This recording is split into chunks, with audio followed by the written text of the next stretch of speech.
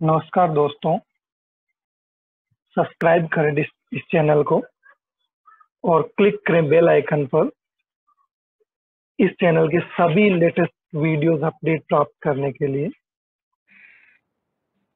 तो अब हम बात करते हैं मेनली डीएमएल कमांड्स की और डीएमएल कमांड के अंदर यहाँ पे फोर मेन कमांड्स हैं जिनको इंक्लूड किया जाता है। देखो वन बाय वन मैं बता देता हूँ। सेलेक्ट ठीक है? इंसर्ट अपडेट एंड डिलीट ये चार कमांड हम डीएमएल के अंदर डिस्कस करने वाले हैं। Select insert update and delete ठीक है? चारों कमांड को हम यहाँ पे डिस्कस करेंगे। सेलेक्ट का काम मेनली हमने वैसे सेलेक्ट कमांड यूज़ किया है बट सेलेक्ट कमांड का केवल एक वर्जन हमने यूज़ किया है। सेलेक्ट कमांड के बहुत सारे वर्जन है। बहुत सारे ऑपरेशन सेलेक्ट कमांड से हम मेनली करते हैं। और यूज़र मेनली यूज़ ही सेलेक्ट कमांड को करता है। क्योंकि डेटा रिट्रीवल करने के लिए हमें सेलेक्ट कमांड की ज़रूरत पड़ती है और सेलेक्ट कमांड के बहुत सारे यहाँ पे हम कंडीशंस के साथ हम यूज़ करने वाले हैं। ठीक है? इंसर्ट कमांड हमने यूज़ किए वैसे तो डेटा इंसर्ट करने के लिए बट इंसर्ट को भी हम अलग अलग टाइप से हम यूज़ करने वाले हैं यहाँ पे। इंसर्ट के भी कुछ वर्जन हम यहाँ पे देखेंगे अलग अलग डिफरेंट डिफरेंट वर्जन में हम यूज़ करेंगे।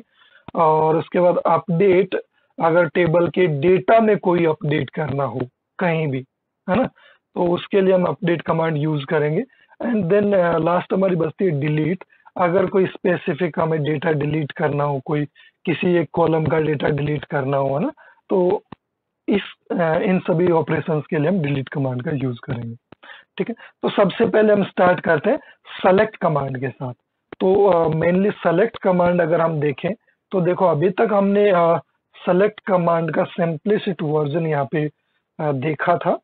तो सेलेक्ट कमांड को यूज़ करने से पहले मैं इस टेबल में कुछ और डेटा इंसर्ट करना चाहूँगा, जिससे कि हम सेलेक्ट कमांड को ज़्यादा इजी तरीके से समझ पाएँगे।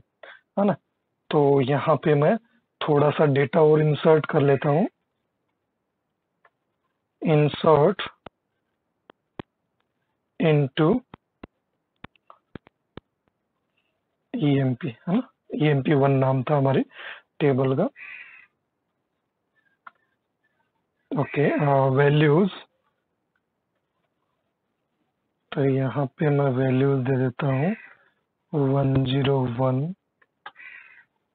A and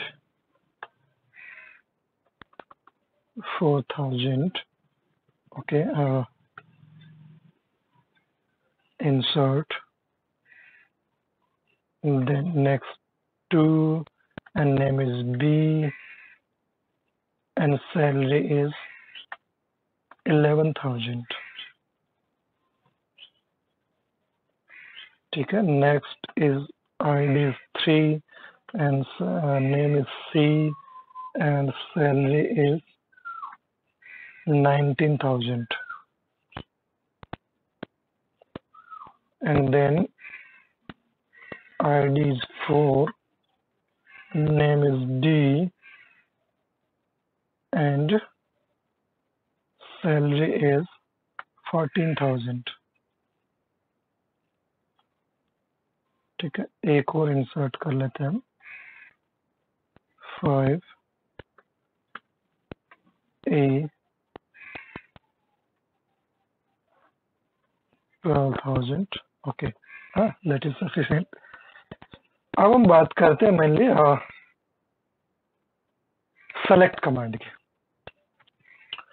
तो एक तो सेलेक्ट कमांड हम ये यूज़ करते हैं, जो अभी तक हम यूज़ कर रहे थे।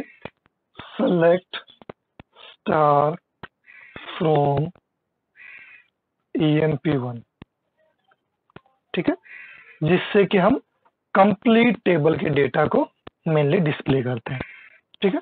तो ये हमारा एक तो वर्जन है, ठीक है? यहाँ पे हम देख सकते हैं हमारा कंप्लीट डेटा जो है, वो यहाँ पे डिस्प्ले हो रहा है, ठीक है? जितना भी डेटा हमने डाल रखा है।